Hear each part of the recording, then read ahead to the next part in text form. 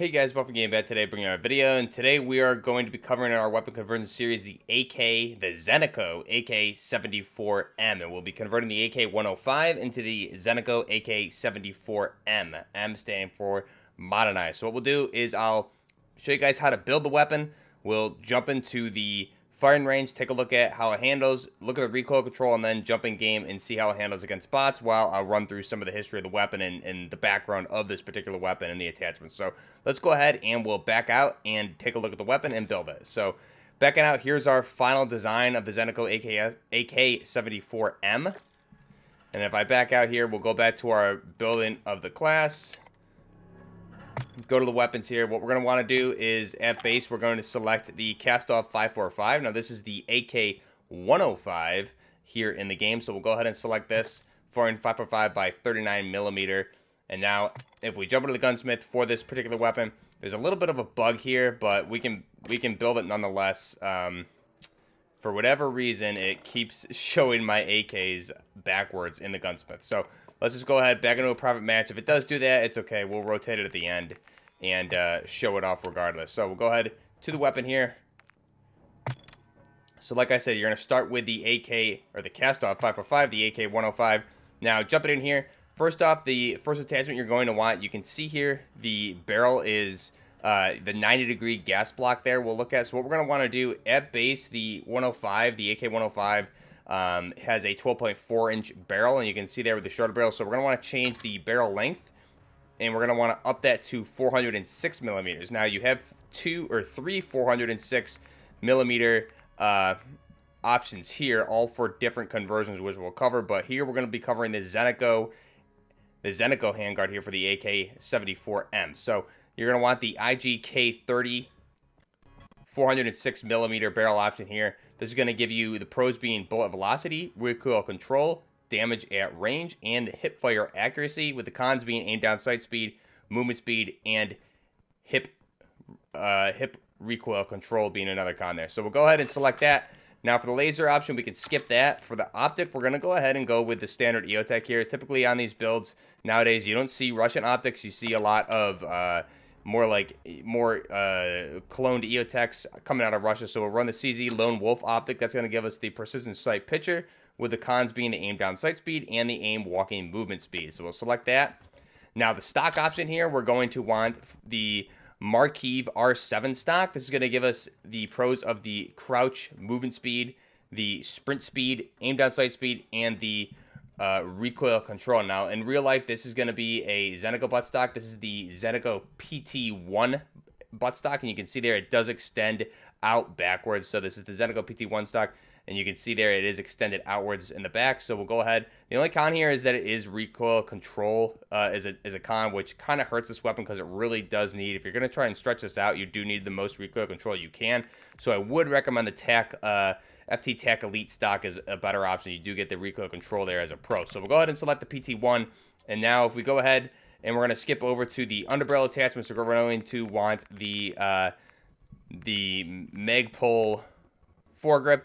Now, there's no Zenitco foregrips here. I would really want something like a, uh, I believe it's a Zenitco RK1, I believe is uh, the foregrip names, but we don't have any Zenitco foregrips here yet for the underbarrel. This would be the closest one would be the Bruin Tilt, but um, the Magpul one looks completely fine also. Some of the uh, Russian Alpha Spetsnaz guys were running things like this as well. So OP X9 foregrip, this is going to be that Magpul uh, foregrip, give you the hip fire accuracy, aim, walking steadiness, recoil steadiness, and hip fire control. The cons being hip walking speed and aim down sight speed. So we'll go ahead and select that. And now for the muzzle, we're going to want the... Uh, Instead of the base, this is obviously the base muzzle, so you can definitely use this attachment elsewhere, but to go in tune with the uh, Zenitco style weapons that we see the elite Russian Alpha Group guys using, we're going to want that Bulgarian crank flash suppressor here. So this is going to be the VLK uh, Koloss flash suppressor. So this is going to give you muzzle flash concealment,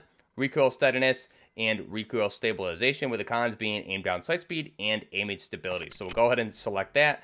And now we'll go into the camo option here because we do, do need a nice camo here on the AK-74M. So we'll go ahead and select the scales option here. This is going to look really nice on this weapon. Uh, kind of an Alpha AK inspired build here. Unfortunately, we just don't have the right barrel length with the right handguard to make a true Alpha AK, but you could technically call this an Alpha AK just as an AK-74M. So let's go ahead now and we will, unfortunately, it's a little backwards here in the gunsmith, which is definitely not ideal for this video. Let me see if I can fix it here. I don't know why this bug seems to only be happening with, uh, there we go, with this particular weapon. You can see my PlayStation is still, for some reason, freaking out. The audio skips and stuff in the background, so I, I do apologize for that, guys. Uh, I'm probably gonna going to need to be getting a new PlayStation and setting this one in to get fixed. Uh, seems to be happening at the most, the worst times possible. But here is the final design for the Zenitco AK-74M. And now the one thing here, with that 406 millimeter barrel on there, we do have the Zenitco attachments, that being for the handguard. So this seems to be most, most, uh, I guess, replicating. It's not exact for the handguard, but it is supposed to be. It looks like modeled after a, a, uh, a Zenit B30 handguard, which is that lower portion of the handguard where the grip is attached to. And then the upper portion would be a B31S upper rail. Um, this is going to be a slightly extended version of that attachment, though. And you can see there, that's the Zenitco rail. And then the other thing here, that we have the Zenitco PT uh, 1 buttstock. And the one thing here, we have a rail dust cover. So you can see the rail dust cover where the optic is attached instead of um, being attached to that dovetail mount there. We have the optic attached to the side, uh, usually in, especially in Modern Warfare 2019, it was attached to this side dovetail mount there above the trigger guard. Um, here we have a rail dust cover finally. So I can't really see when you zoom in, it gets all blurry, unfortunately, but it looks to be, it could be a Texas weapon system, rail dust cover, could be a variety of things. Um, but the one thing here, obviously, we have a stamped AK, so you can tell stamped versus milled here, which is really nice to see also. And overall, it looks really, really cool. Now, the one thing here um, with the AKs and the uh, as we go ahead, we'll back out and we'll jump into the shooting range so you guys can see how it's going to handle. But the one thing with these AKs, especially here, we do have 90 degree gas blocks for the uh, 100 series, and here with the AK-74M, at least it appears to be like that with the even with the Zenitco rails there. It does appear to be uh, a 90 degree gas block, which is which is good to see. We were missing we were missing all of that in Modern Warfare 2019, so it's really good to see. So if we go ahead and jump into the firing range here, we'll take a look at our weapon. So you can see our Zenitco AK-74M looking really nice here. Let's go ahead and let it rip a little bit.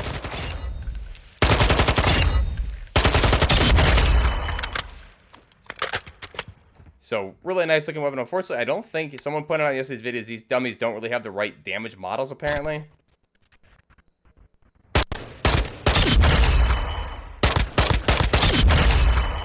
Looks like a four shot kill if we mount. Two, one, two, three, four, five. Five at range. So it's a really, really nice weapon and pretty accurate. This is our Zenit AK-74M. So let's go ahead and we'll jump in game and take a look at the recoil control before we jump in game against bots. Okay, now that we're in game, let's go ahead and check out the recoil here on the AK Zenitco AK-74M. So go ahead and line up these shots here. I'm going to not do anything with the recoil. We'll just let it rip. So you can see it's going to go up and to the right, and now we'll try and control it. Pulled down a little bit too much there, but you can see, do it once more.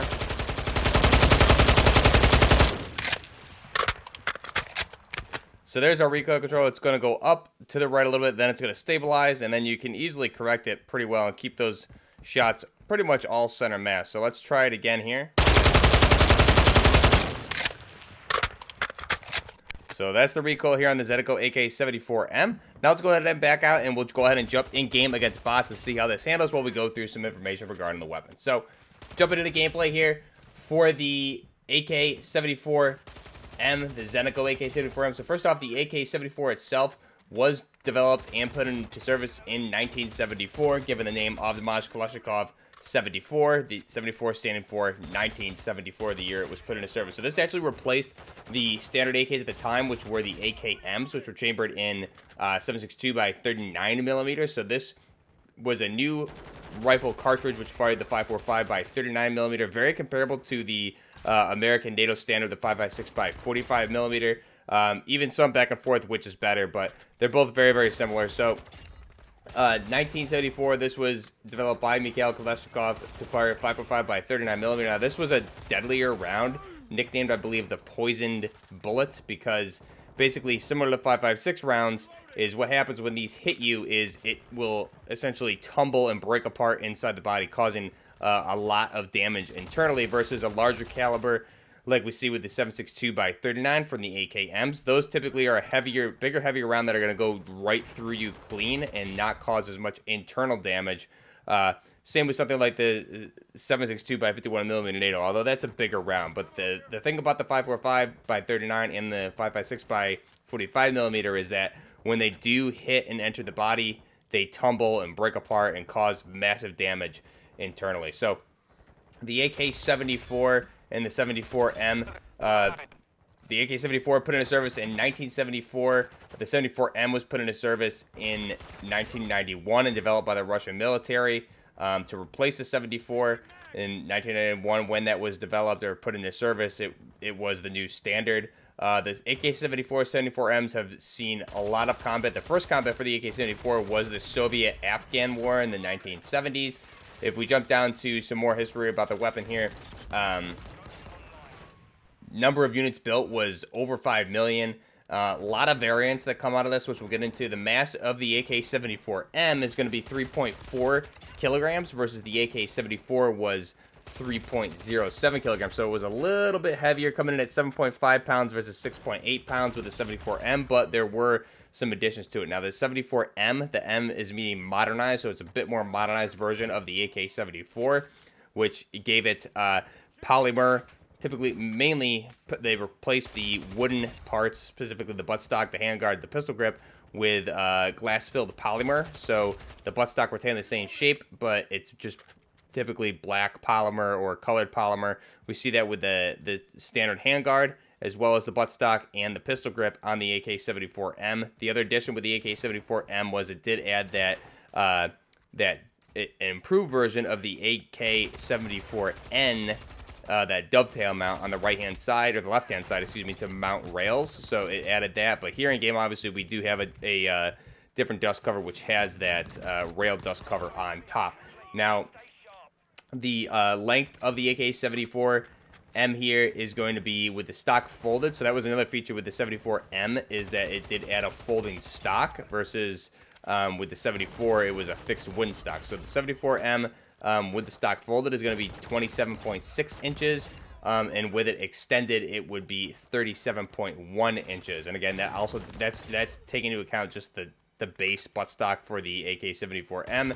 Uh, in this case, we have a PT-1 a Zenitco buttstock, so that could be adjustable. So it would it would uh, vary on based on what setting it was on. The barrel length overall for the AK-74 and the 74M is 415 millimeters or 16.3 inches. Here in game, we have 406 millimeters. So that's going to come in right at 16 inches. So a little bit off there, but relatively the same. The width of the weapon here, the AK-74M, is going to be uh, 70 millimeters or 2.8 inches.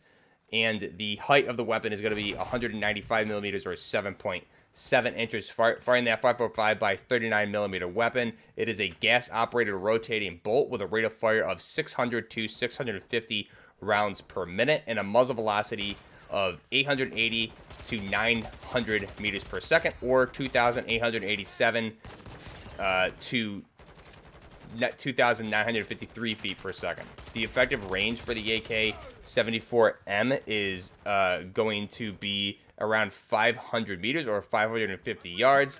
And uh, if you're looking at different targets, it could stretch it out to 800 meters or 870 yards the maximum range, again, stretching it out further outside of target. So the max range you can shoot is going to be 3,440 yards. But obviously, that's not quite practical for, for any type of engagement. The feed system is going to be that 30-round AK-74 uh, magazine. And typically with the 74s, we did see polymer or bakelite magazines. There's also the ability for the 45 round and a 60 round casket mag, which we do have in game for the AK uh, series of weapons here for the 545 versions, that being the uh, AK-105, or in this case, the build we have here with the 74M. Um, and I believe there's a 60 round available even for the AKS 74U as well. Now, obviously, we do have that top-mounted Picatinny rail on this, so it is um, going to be be a uh, different type of uh, optics can go on there instead of obviously here they're not mounted on that left hand dovetail mount so they're mounted on the top Picatinny with any optics selected. So with that selected you can obviously put anything on that top mount. Uh, the only issue is in in real life is retaining zero because uh, that dust cover the way the with the the way the AK is designed just always retaining zero has been an issue but apparently uh, there's some things like Texas Weapon Systems and other ones that do do well enough to retain zero for the uses of, of the Russian Special Forces, like the Alpha Group, Spetsnaz, things like that. So this is the AK-74M. Let me know what you guys think of the Zenitco AK-74M. Obviously, we have that full-length uh, Picatinny Zenitco rail there with that uh, very, very nice-looking um, handguard on there being the uh, the Zenit B30 handguard with the B31 upper. Again, it's not exact. This one's a little bit more extended, it looks like. Um, could be they usually you have like sport editions and things like that from Zenitco, but this one's a little bit more extended, um, almost out to the actual muzzle. But you do see similar ones out there as well. But this is a really nice one. It's not exactly the same. I think they obviously make a lot of changes in game to avoid any copyright issues. But this is the Zenitco AK-74M. Let me know your thoughts down below this. I'm really happy we finally get a Zenitco style AK, modernized AK here in the game. Let me know your thoughts down below. If you guys are enjoying the content, be sure to like the video and subscribe to the channel. Um, definitely helps support smaller channels like myself, especially here as we build into um, Modern Warfare 2 and have a lot of content here coming for different weapon conversions and things like that. So let me know your thoughts down below. Until next time, this is BuffNerd Gaming, out.